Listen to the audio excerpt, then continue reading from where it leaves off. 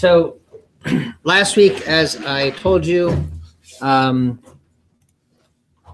I uh, hadn't looked closely at the schedule and I had meant for last week to sort of be open-ended and I might have canceled it. Um, I forgot that was in the system because I thought with all the snow days that I'd gotten rid of that extra lab day. Uh, so we started the respiratory system last week, um, looking at respiratory anatomy. Um, and then this week, we're going to continue with respiratory system. We won't actually get to covering it in lecture until Thursday. Um, and so what I'm going to do uh, today is talk about how breathing works and a few things about um, air pressure and those sorts of things um, to set up an exercise that we would do.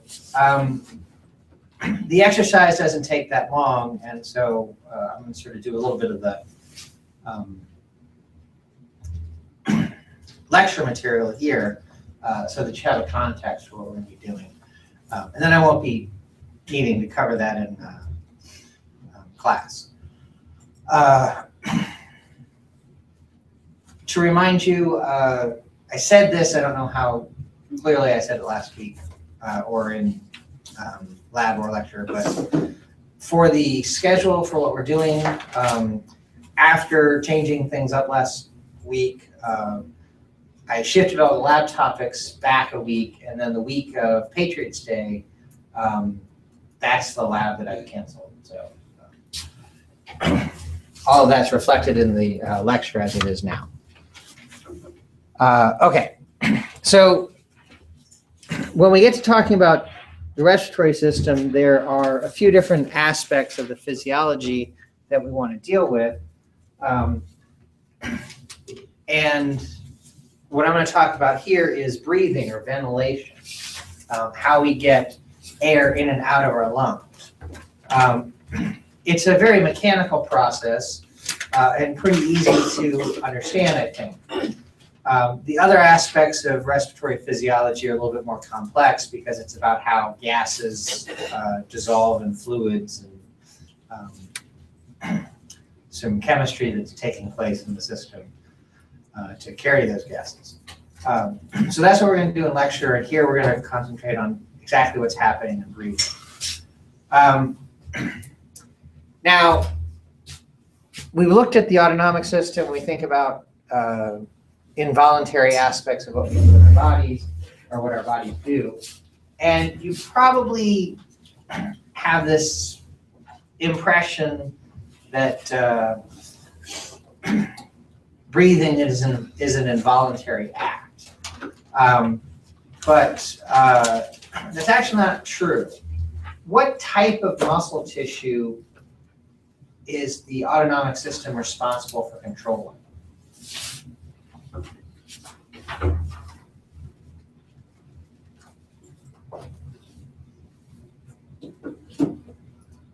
Remember the types of muscle tissue, right? So which ones are controlled by the autonomic system?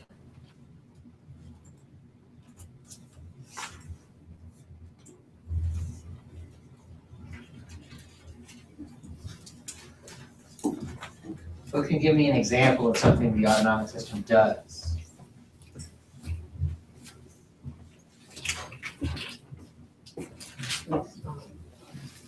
Right, so what type of muscle is that going to be?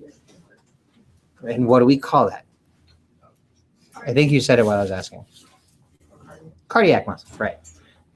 Uh, what other type of um, muscle tissue does the autonomic system control? Cardiac muscle and smooth muscle. Where do we find smooth muscle? Some examples.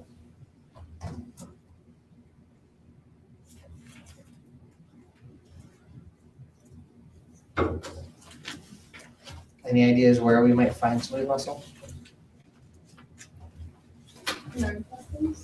Sure, walls of the digestive tract, great example. Um, which fits well with talking about the autonomic system because really the parasympathetic system's main function is controlling um, uh, digestive function. Um, what type of muscle tissue does the autonomic system not control? Skeletal muscle, right. Um, and so we often think of skeletal muscle as being voluntary muscle. That's in fact one of the terms used to describe it. Uh, we can voluntarily control it. It's controlled by uh, motor neurons in the ventral horn of our spinal cord or in certain nuclei in our brainstem for the cranial nerves. And we have direct conscious control over those. Um, breathing, in fact, is dependent on skeletal muscle. okay? Now, it's involuntary because, uh, well, we think of it as being involuntary because there's a part of the brainstem that controls breathing that does not need any input. It's completely active on its own. And uh, we'll talk about that in lecture when we get to talking about uh, regulating breathing. Um, which is actually an unusual situation. Pretty much uh, to control skeletal muscle anywhere in our body, we need some sort of conscious act of volition to do that. Higher centers of our brain have to send a uh, signal out, or it's some sort of reflexive reaction to a stimulus, like you touch a hot stove and you pull your hand away. But breathing is actually under control of a nucleus that's active on its own without any outside input. Um, but breathe or ventilation, that aspect of controlling air, is really a voluntary thing because we can do so much with it and we have so much ability to control it when we want to. For instance, that's what I'm doing right now. Speech is completely a matter of moving air out of your lungs across your vocal cords. And if we didn't have control over that, we wouldn't be able to do it in a, ma- a manner to modulate frequency and uh, um, limit the exact amount of time that air is moving across to generate the uh, particular sounds that we have to make fairly complex speech sounds. So that's all basically to lead up to the idea that breathing is really um, a, a matter of skeletal muscle contractions. And I pulled this um, skeleton here just to talk a little bit about what's um, involved in that. The main muscle for breathing is the diaphragm. And it's the skeletal muscle wall between the thoracic and um, abdominal cavities. In its relaxed position, it's bowed upwards, making the floor of the thoracic cavity. When these fibers contract, it flattens out. Okay, so if you think of my fingers here as being fibers in this muscle, as the muscle gets shorter, it goes from this curved position to a flat position, basically pulling down on the thoracic cavity. Um, other muscles that are involved in breathing have to do with moving the uh, ribs. Um, there's two sets of muscles that are found in between the ribs. We call them intercostal muscles. There's an external set and an internal set, meaning just whether they're on the outside or the inside uh, surface of the rib cage. The external intercostals pull one rib up closer to the one above it. And as a group, will basically lift the rib cage up. Now, as I'm demonstrating this on the skeleton, I'm really exaggerating what they can do. They aren't going to make the rib cage lift up that much, but uh, kind of like an accordion, each rib is pulled up closer to the one superior to it, and from that, uh, along with the diaphragm going down, it expands the thoracic um, uh, volume even more. The internal intercostals do basically the opposite. They basically pull each rib down closer to the um, one inferior to it, which is going to sort of pull everything down. When I do this on a model, I kind of think of somebody that, you know, wearing a three-piece suit and they're pulling the vest down over their growing paunch or something like that. So it just pulls down on the rib cage like that, doing the opposite.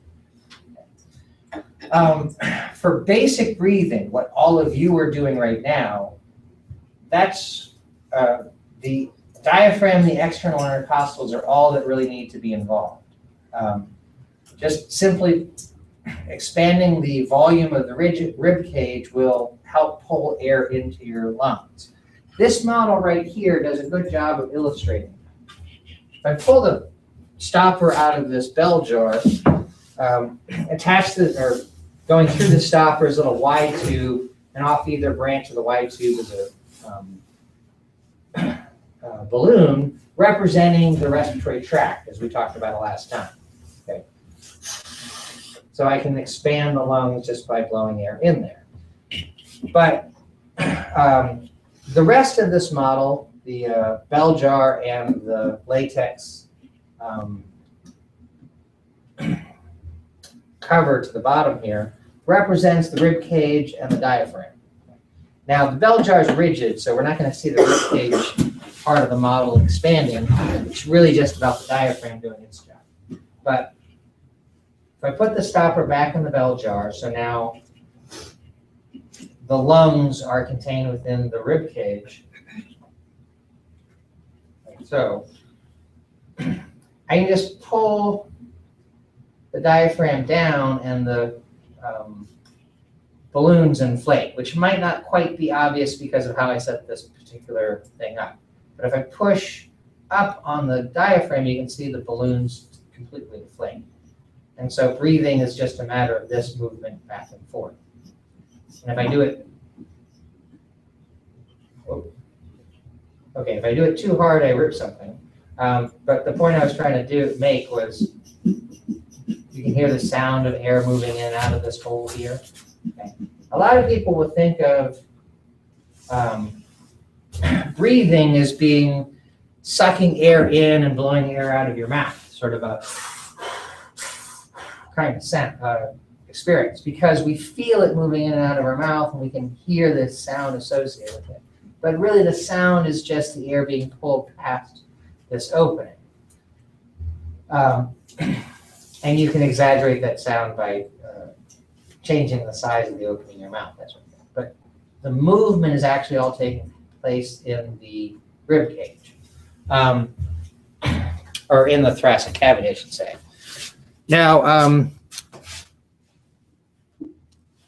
actually, before we look at the um, uh, process of breathing in this section of the um, chapter, let me back up for a second to uh, the anatomy of the lungs. Um, when I was talking about the respiratory tract, I talked about the bronchi branching into the lungs and going down to the alveoli. Uh, but another aspect of the lungs that we need to think about is their relationship to the rib cage, how they're attached. Um, and they're attached or they interact with the rib cage through what's called the pleura. Uh, the pleura is, and this will load soon enough. Um, the pleura is a um, serous membrane, much like the pericardium around the heart we talked about back in the cardiovascular system. It's a simple squamous epithelium and its associated connective tissue that covers the outsides of the lung and lines the inside of the thoracic cavity. Um, for the medial aspects of the lung, it's going to line uh, sort of that space there. So the um, pleura of the lungs and the pericardium of the heart will actually kind of come up against each other, um, sort of lining their respective spaces. So now that this picture is loaded, um, the inset over here kind of illustrates that. Um, here we see the intercostal muscles, which are skeletal muscles. Um, this isn't saying specifically internal external muscles, just intercostal muscles. So this is the wall of the um, thoracic cavity. And lining inside of that wall is one layer of this uh, pleural membrane called the parietal pleura. Parietal is referring to the body wall, so it's the uh, layer that's lining the body wall. And then here we have the lung, and covering the outside of the lung is the visceral pleura. And between the two is a little cavity which is filled with fluid, um, which is just like the pericardium, the visceral pericardium and the parietal pericardium are separated by a little bit of space where there's some fluid. The fluid acts as a lubricant so that when the heart moves within the pericardium and the lungs move within the pleura, it provides a little bit of, um, or it limits the amount of friction uh, between the moving organ and the um, surrounding space. But the pleura has a, another very important role to play. Now, the pleura and the pericardium, both of them are closed cavities. Um, it's one continuous membrane that's covering the outside of the organ and then extending to line the inside of the space. So being an enclosed cavity, nothing's supposed to get in or out. It's uh, sort of a fixed space. If I were to try to pull the parietal pleura away from the pleura, the visceral pleura, as that space expands, it's actually going to uh, create some uh, kind of like suction. It's not exactly suction, but uh, it'll kind of pull that away. the only example I can come up with to kind of illustrate this is if you've ever tried to um, unwrap something that's been shrink wrapped and you just can't get your fingers to grab onto the shrink wrap. You've had that experience? Sure, you've had experience. Um, it's really hard to pull the shrink wrap away because the shrink wrap is sealed around and you'd have to get some air into the space between the shrink wrap and whatever it is that it's wrapped around to be able to pull the shrink wrap away. Okay. But since it's sealed, no air can get in there. That's sort of the same thing here. Um, nothing can get into uh, the pleural cavity to fill it if we try to separate the two sides from each other. So that means that with when we breathe, the rib cage or the diaphragm, which the parietal pleura is attached to, expands and it pulls the parietal pleura away from the visceral pleura, but the visceral pleura has to kind of stay close to it. Again, uh, you can't really pull the two apart because there's no way for any air or anything to get in there to fill that space to, to take care of it. So when the um, thoracic wall expands, the parietal pleura follows with it because they're attached. And then it pulls the visceral pleura because this cavity is closed and you can't really separate the two layers of it. And that's attached to the outside of the lung, so that's going to pull the lung. And when your viscer- when your thoracic cavity expands because of the um, uh, muscles I was just talking about, it's going to necessarily pull the uh, lungs with. Now, um, aside from the fact that I actually ripped the um, uh, uh, latex cover over the bottom of this that represents the um, diaphragm. The idea is kind of true here. Nothing can get into the bell jar. It's now completely sealed. So when I pull the latex down, uh, the volume within the bell jar is constant. And so the only thing that ha can happen to offset what I'm doing pulling the latex is that air fills the balloons and they expand to fill the difference in the volume in this bell jar. That's exactly what's happening with the lungs. When your diaphragm descends or the rib cage expands, the lungs basically fill, it pulls air into the lungs. Depending on how deeply you're breathing, there are different muscles that get involved. And uh, breathing has two phases to it. There's inhalation and exhalation. Inhalation is really all that's driven by the muscles for the most. So diaphragm goes down and the rib cage expands. That's going to basically pull air into uh, the lungs. When you exhale, when you exhale, and as opposed to me, because I'm doing something very different because I'm speaking, those muscles relax. The external intercostals and the diaphragm relax, and they go back to their resting position. The lung has elastic tissue in it, and the, the elasticity of that tissue kind of pulls everything back to its original uh, size, and that's going to help to push air out. Okay, so for you, when you're breathing, all you're doing is the diaphragm and external intercostals are contracting to expand the rib cage, pulling air in, and then when they relax, the elastic tissue in the lungs basically snaps everything back, and you push air, air back out of your lungs. What I'm doing is different because I'm speaking, I'm forcing air out. And there are muscles that are responsible for uh, exhalation when you need to force air out. The internal intercostals, which do the opposite of the external intercostals, since they do the opposite as far as muscle is concerned, they're also going to do the opposite as, as far as function is concerned. So while the external intercostals help to expand the rib cage, the internal intercostals help to sort of pull it down, and that's going to help to push air out, force air out for exhalation. That does not need to happen only when you're trying to force air out, which I'm doing because I'm, I have, you have to force air out across your vocal cords to produce speech sounds.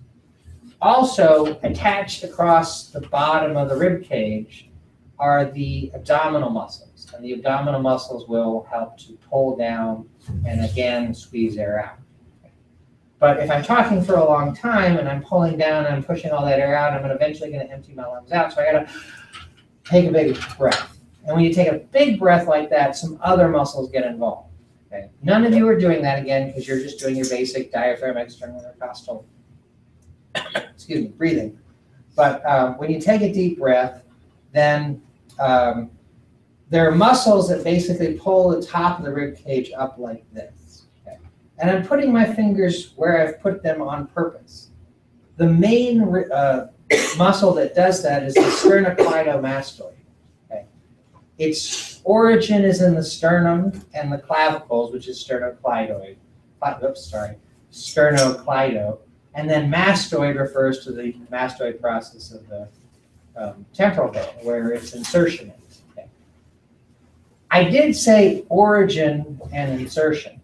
We tend to think of skeletal muscles as pulling the insertion towards the origin, but when you're breathing, when you're taking a deep breath, the sternocleidomastoid pulls the origin of the muscle towards the insertion because other muscles fix the neck in place, and so the um, skull's not going to move, and the, the rib cage can be pulled out. Also in this area, there are some other muscles. Uh, there's the scalenes and the pectoralis minor uh, muscles that are attached across the upper uh, few pairs of ribs, helping again to pull them up, sort of doing more than the external intercostals. Um, and all of that will allow for taking a really deep breath.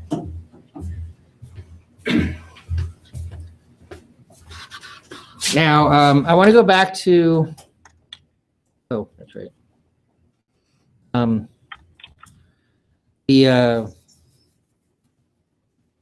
process of breathing section. Um, because understanding breathing also requires us to understand a little bit about uh, pressure. Now, the pressure that's involved in breathing, air pressure aspects, isn't really any different than the pressure that we thought about when we were talking about blood. Okay? Liquids and airs, sorry, liquids and gases um, behave very similarly uh, in regards to pressure. Okay? Fluid dynamics includes liquids and gases. Um, and so when we say laws of fluid dynamics, um, we're referring to both of those. And either will move from high pressure to low pressure. Just when your your heart beats, it generates a bunch of pressure squeezing in the left ventricle, and that pushes the blood out into the aorta. And the pressure will push the blood all the way through the systemic circulation until it comes back to the right side of the heart. Okay. High pressure drives the movement of blood. Same thing's true of air. Air is automatically going to move from high pressure to low pressure. Now, if you think about air and movement and high pressure and low pressure, that might remind you of watching the weather or something like that. When they talk about high pressure and low pressure uh, systems in the weather, what we can necessarily assume from that is that wind is going to be blowing from the high pressure to low pressure. Okay, that's the movement of air uh, down a pressure gradient. And that's largely what they're talking about when they're describing weather. Okay. Um, we don't need to get into that exactly, but what's important because when we're talking about wind, it's an open system, sort of, um, and air's moving all around the planet. Uh, here, talking about breathing, we also want to consider what volume has to do with it, um, because the lungs are contained, and uh, we can define the volume of that quite a bit. Now, um, this uh, e- equation up here um, says P sub 1 V sub 1 equals P sub 2 V sub 2. Uh, that's the initial pressure and volume equals the second pressure and volume multiplied together, I suppose you could say. Um, all other things being equal, if you're just looking at pressure and volume, when pressure changes, volume is going to change too, and they're going to kind of balance each other out. So this picture shows, um, let me make the picture a little bit bigger. Um, a contained volume of air at a particular, you know, this is V1. Okay. Um, at this pressure, let's call it a liter. Uh, I mean, sorry, at this volume, let's call it a liter. The pressure of the air in here um, let's call it one unit of pressure, one atmosphere of pressure, or something like that, um, has to be equal to what we're going to see in the second jar, where the volume changes, uh, gets smaller, the pressure is going to go up. Now, pressure uh, that we're talking about here is basically the additive, um, excuse me, uh, force of air particles running into the walls of the container. Okay? In this room right now, there's a bunch of air molecules, oxygen, carbon dioxide, nitrogen, uh, water vapor. Um, dioxide? But uh, anyways, those are all moving around in here. The distance between one particle and the next, one molecule and the next, is so great relative to their size that they all basically um, act independently. They don't run into each other, but they do run into the ceiling and the floor and the wall and our body and all that sort of thing. Each little impact uh, generates a certain amount of force. Exactly how much I don't know, but it's really, really small. Um, but if you add up all of the impacts of air molecules against you or against the floor, the ceiling, or the wall, there's going to be an overall force. That's the air pressure in here. if we were to compress this room and make it half as uh, big as it is without letting any air out or in and not letting any of us out or in, then the air pressure is just going to increase with that. I mean, is that right? Yeah. It's going to increase with the volume decrease. Um, so the numbers aren't in this picture, but let's pretend. This is a liter of air at one atmosphere of pressure. And when we decrease the volume to half a liter, the pressure is necessarily going to increase to two atmospheres. Okay, um, because P sub one V sub one has to equal P sub two V sub two. Okay, so if P sub one is one and V sub one is one, and P sub two is one half, then V sub nope, I got those backwards. Um, Okay. Let me write this on the board or uh, if I try to do this all verbally, I'm going to get messed up. Okay. So again, and I can't do subscripts here.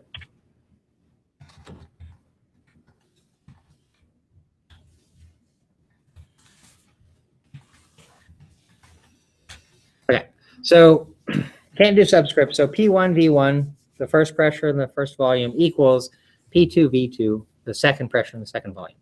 So let's say that this is um, one atmosphere times one liter of air. Okay. And so if, um, uh, how many atmospheres would we have if the volume went to half a liter? I'm going to assume this is obvious to you, okay? One times one is going to be the same as two times half. See? Everybody follow the math there? Okay. Which means for this to work out, that has to be two atmospheres. Just the product of these two has to equal the product of these two. If volume goes down by a half, volume has to go up, has to double. No, sorry. Volume goes down by half, pressure has to double. Okay. Um, if the volume went down to a fourth, then uh, pressure would have to go up to four. Okay. Again, so that the uh, math works out. Okay. Now, the pressure that we deal with is not in atmospheres. Okay. An atmosphere is, in fact, a measure of air pressure. It happens to be the measure of air pressure at sea level. One atmosphere of pressure. That's a lot of pressure. And the kind of changes that we're going to be talking about are very, very small. And so atmospheres is not a very useful uh, unit to use. Instead, we're going to stick with the unit that we're familiar with, millimeters of mercury. One atmosphere of pressure is equal to 760 millimeters of mercury,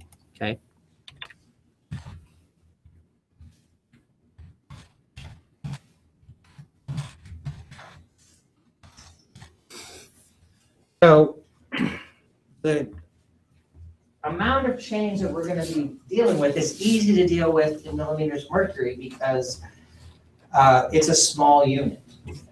Um, when you breathe in, the expansion of your rib cage uh, causes a slight increase in volume such that the pressure in your lungs drops to about 758 nanomet- uh, millimeters of mercury. So it's a really, really small change in volume. And we're not going to even bother trying to measure that volume. We could work it out. Um, but it's not that important. Um, we're talking about really small changes. And so uh, millimeters of mercury is a great um, unit for us to work in because it'll uh, allow us to work in the, um, the amount of change we're going to see.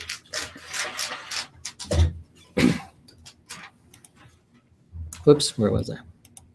Um, okay, so uh, if the change here was from 760 millimeters of mercury to, um, what would that be? 380 millimeters of mercury.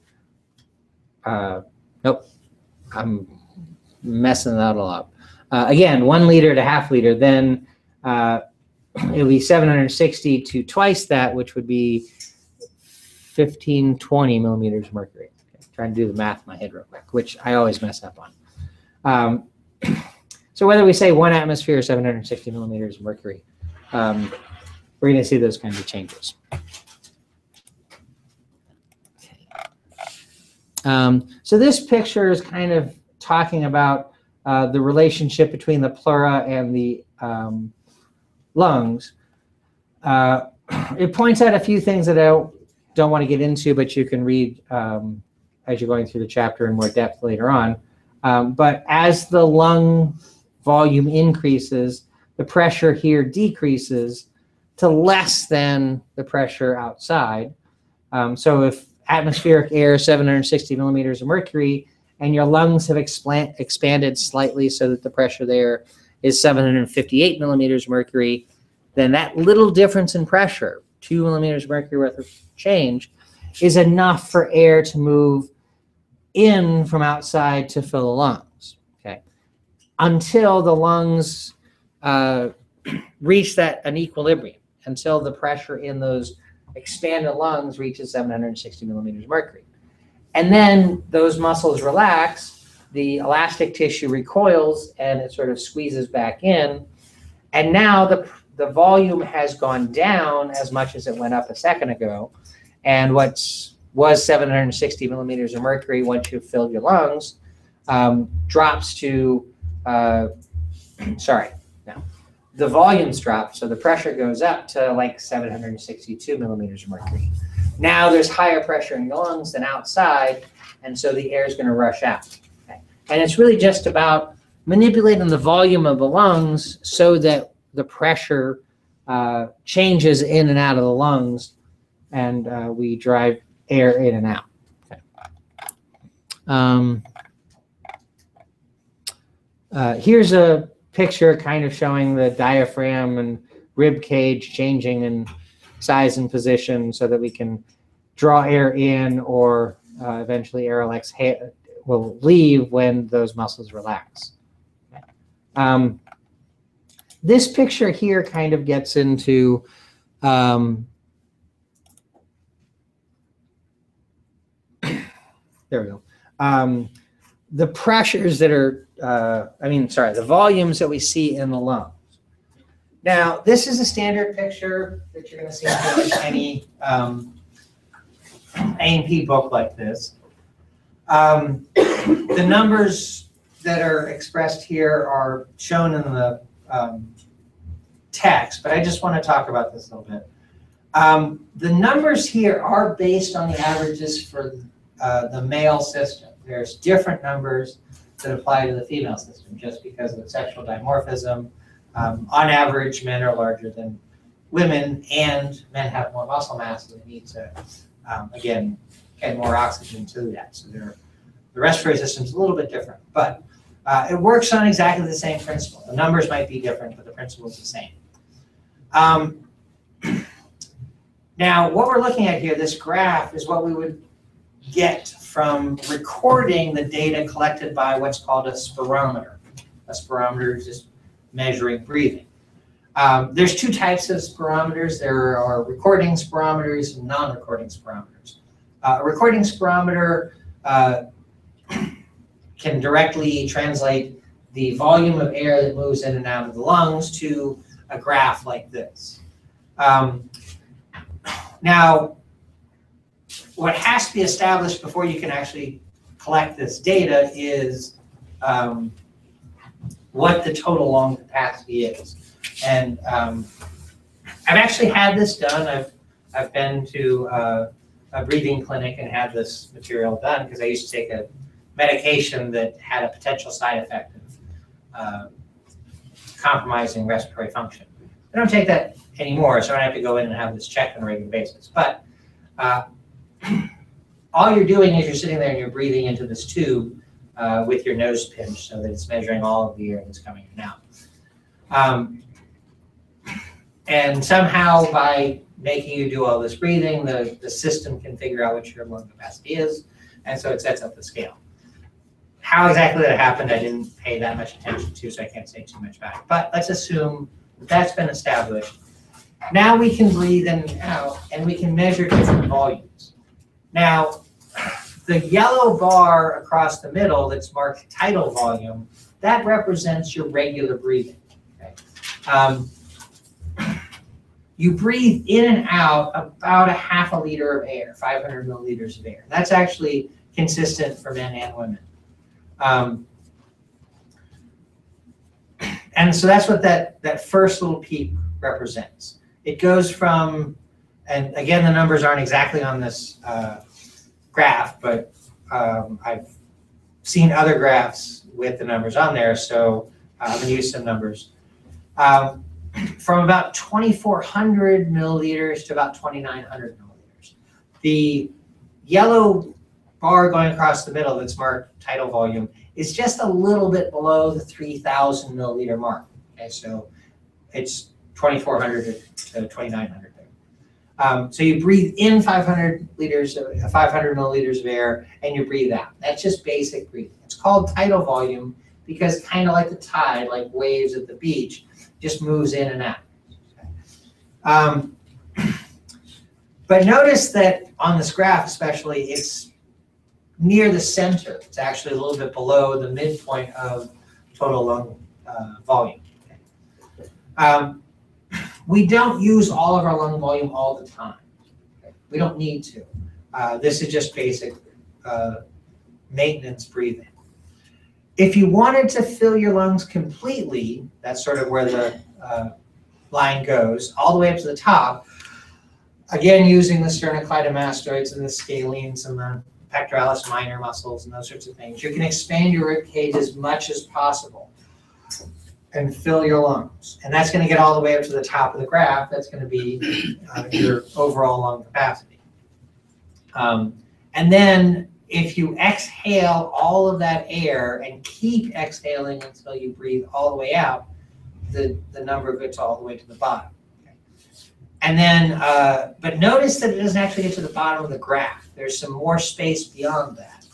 Um, because you can't completely empty your lungs. If your lungs are completely empty, then you have a vacuum there. And the vacuum just won't happen, won't work. The lungs would completely collapse and they would never, they wouldn't work anymore. So you have to keep some air in your lungs. Okay?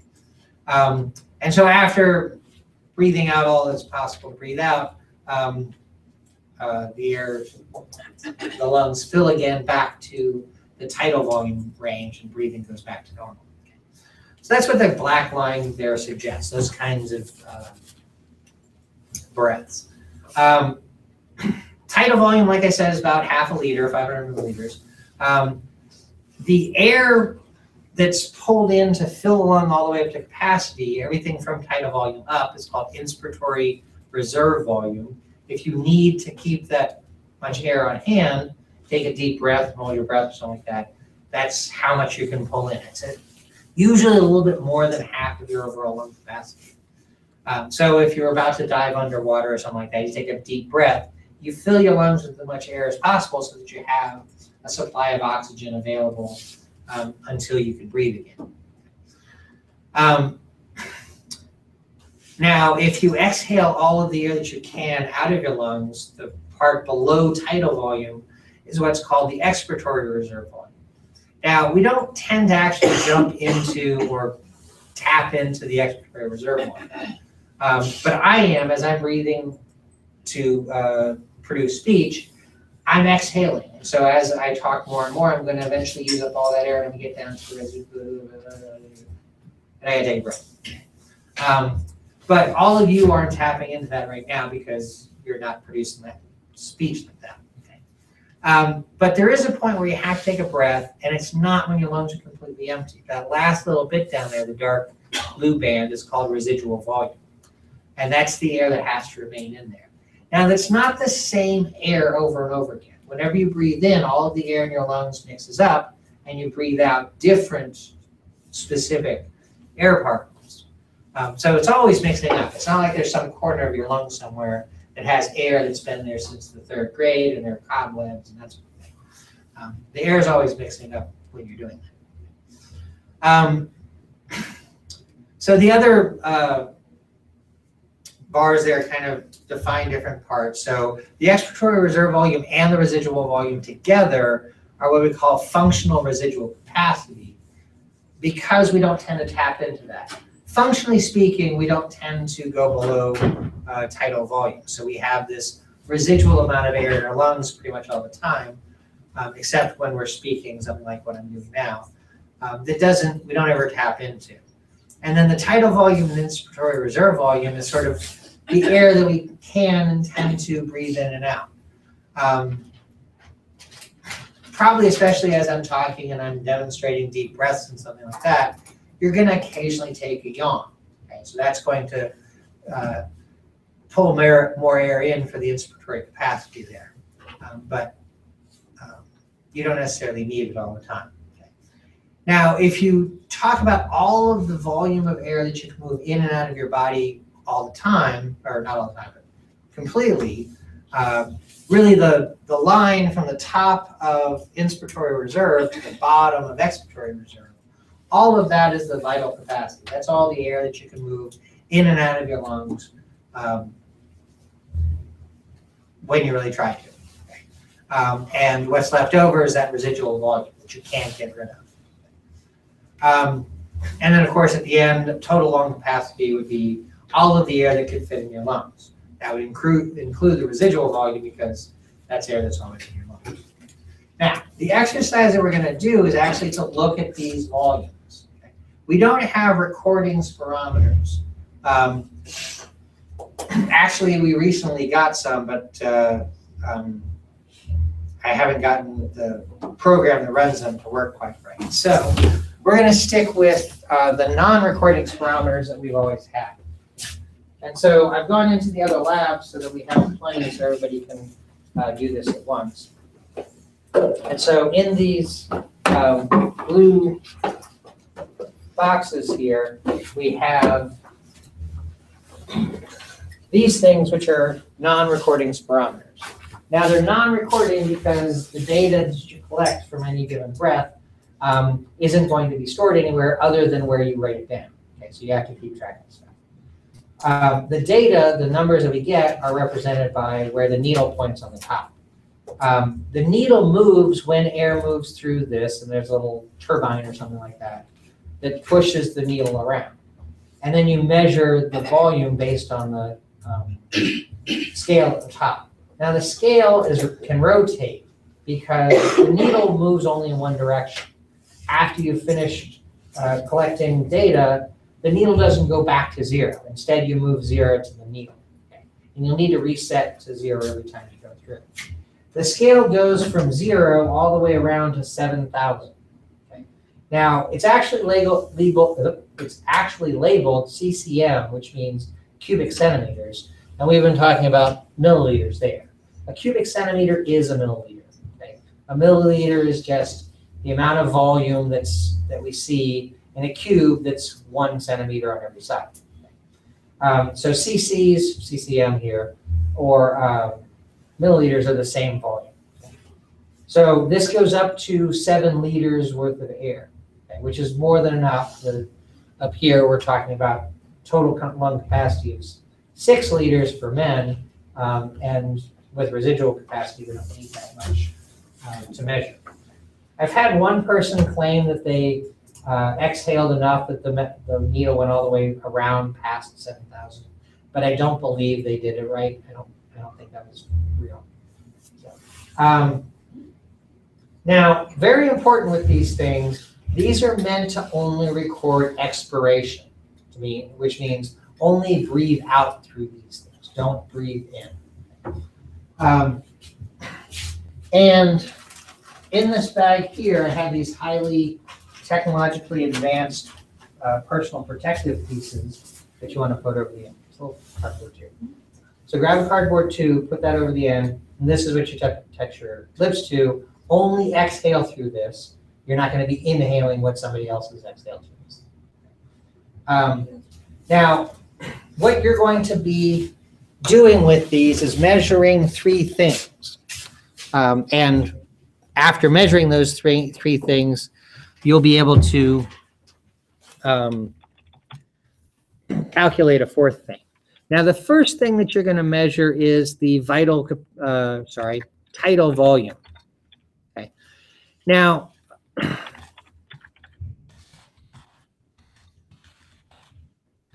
um, to get an accurate number for any of these recordings, we really want to take a series of measurements and average the number.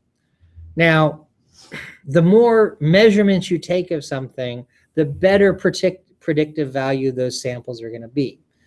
Um, but there's a limit to being able to do that. If you take 20 samples and, and average them all together, then you're going to get a very accurate representation. But it takes a long time. So for this, I want you to take three measurements. Trial one,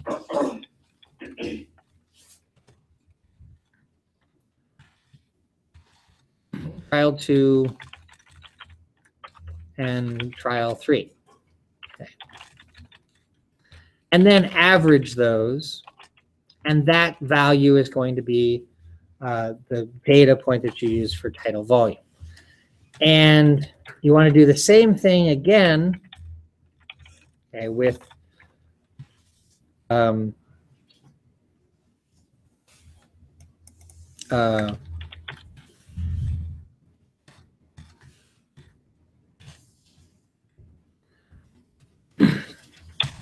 Same thing again for expiratory reserve volume. And then you're gonna do the same thing again for vital capacity.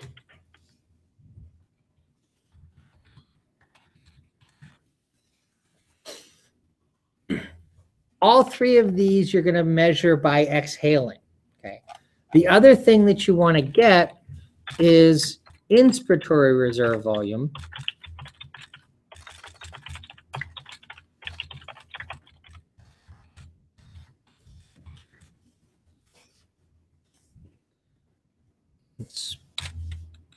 Inspiratory vol- reserve volume. But you don't want to measure that, okay? Instead, you calculate that based on really the definition of what vital capacity is. So let me go back to this. Okay, vital capacity here uh, is everything except residual volume. And if we go back over here, okay, take out residual volume, what we have left is expiratory reserve volume, tidal volume, and inspiratory reserve volume. Okay. So uh, vital capacity equals ERV plus TV plus IRV. Whoops. Vital capacity is those three things together. If we solve for IRV, then vital capacity, uh, minus the quantity ERV plus TV. Okay. So all I'm doing here is uh, rearranging this first uh, equation to solve for IRV. So if I subtract the quantity of ERV plus TV from both sides, then that gives us IRV. See the, the algebra behind that? Okay. Um, so we're measuring these three values here. And so we can calculate what IRV is from them without having to um,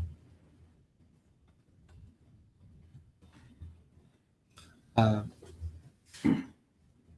inhale through the um, recording, uh, non-recording spirometer. So I'm going to demonstrate this for you. Um, I'm not going to, show me this knocking. Oh. Oh.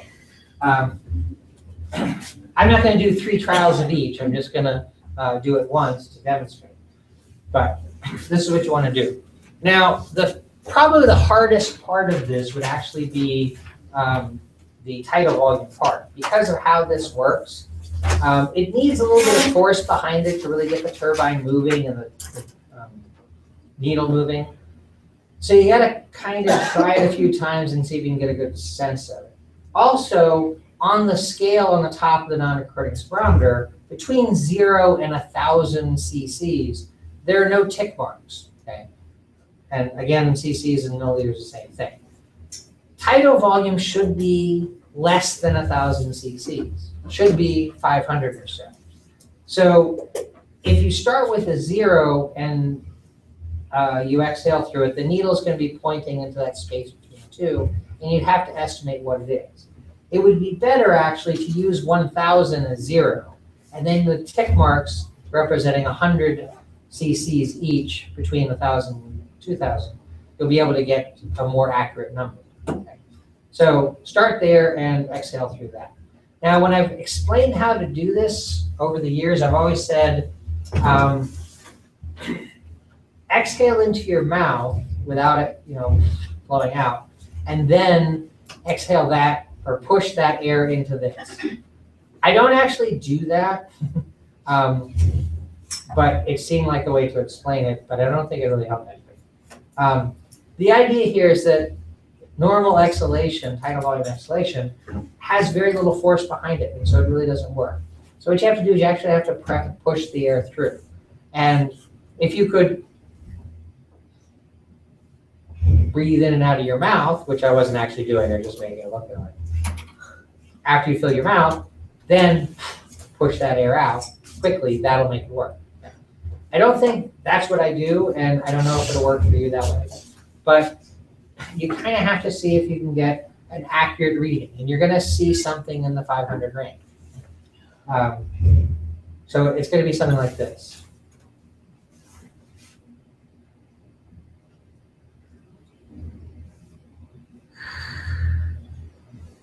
And I've just been doing this enough that I kind of know uh, what it feels like to exhale tidal volume and just breathe out. You might need to do it a few times, maybe more than three trials to get an accurate feel for it.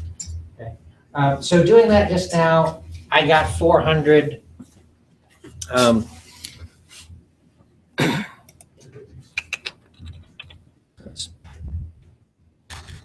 I got 400 milliliters, which actually I tend to have a little bit lower than that. I think my average is about 375, but um, I'm not going to do three trials. I'm just going to put one value in there, but it'd be like that.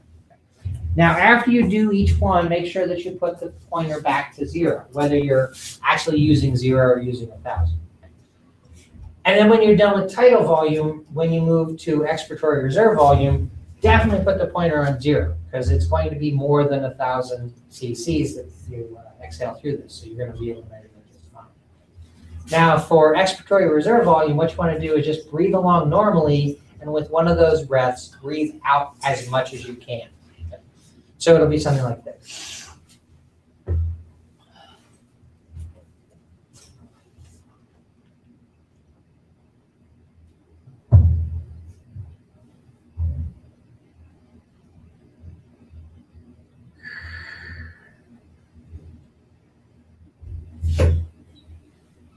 I got a bit of a headache, but that didn't work well.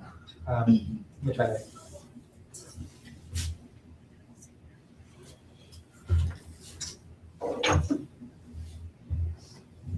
Take your time from zero. Sorry? Take your time into zero. Yeah, put it back.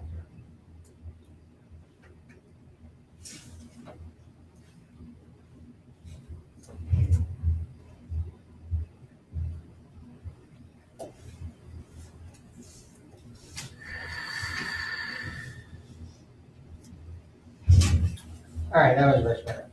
Still have a bit of a headache, but, um, now, actually, what I was doing there, if you might have noticed it, I put it up to my lips, but I didn't close my lips around it for a breath, and that might have been what helped me the second time around. But um, so again, uh, don't breathe in through this. So I was breathing through my nose, but I had this up. So when I was ready to take the next exhale, I just closed my lips and breathed breathed out completely through there. And what I got today was 1,500 milliliters. Um, now, I actually didn't measure expiratory reserve volume. okay? What I did, uh, let's just read this backwards. So I was breathing in and out normally, and then for one exhalation, I breathed out all I could. Okay. So actually, what I'm getting here is tidal volume plus expiratory reserve volume. Okay. Um, now, I'm going to actually leave it that way because it's useful.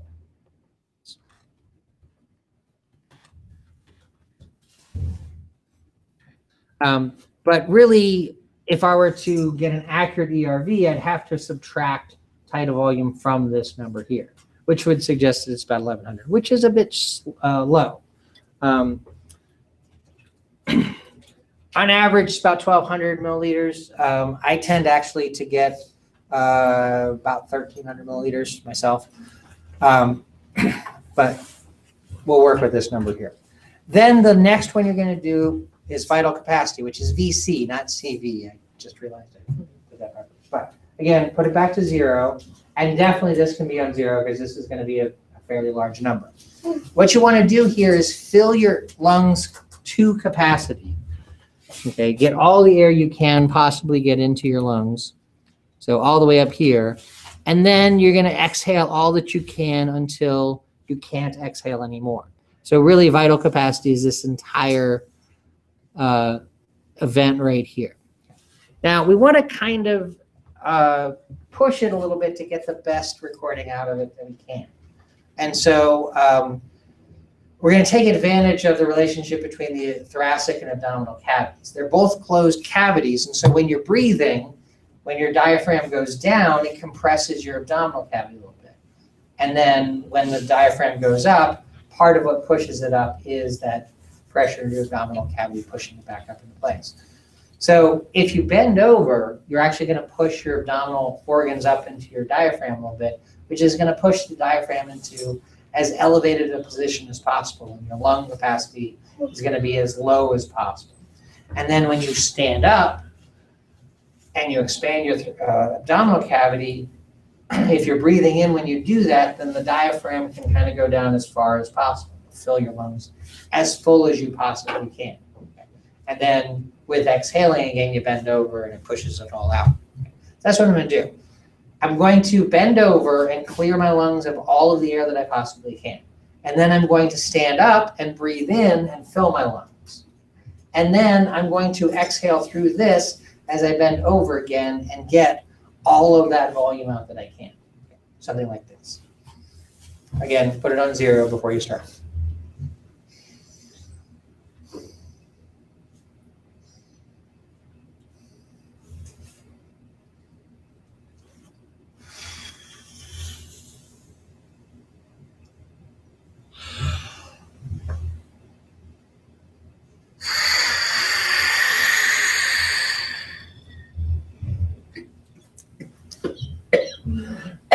Excuse me. Okay, so um, that got me up to.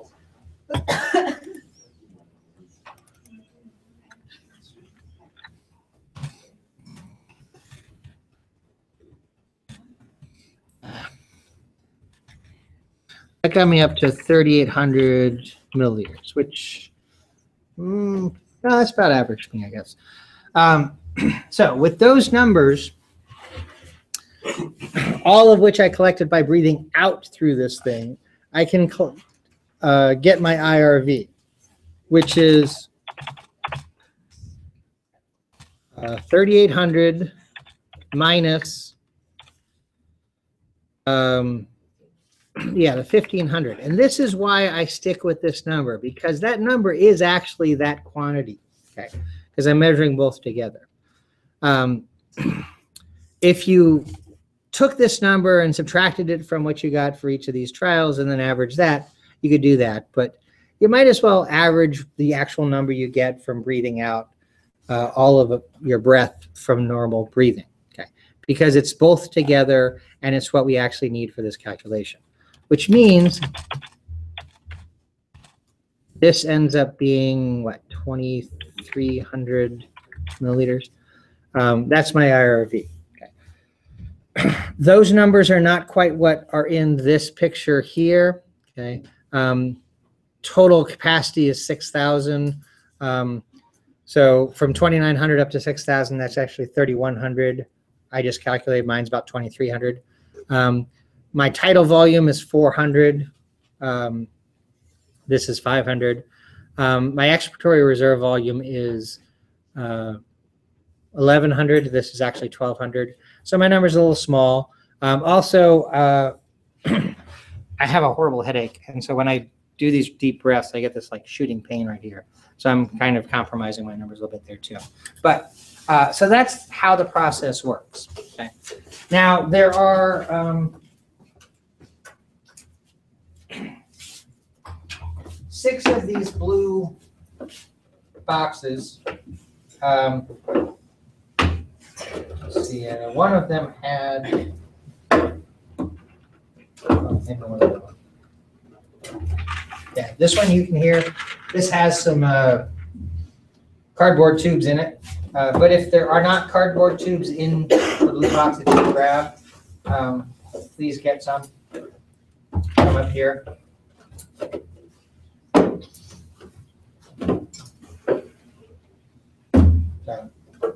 Um, and with six, maybe you could work in uh, pairs or something like that, using them or.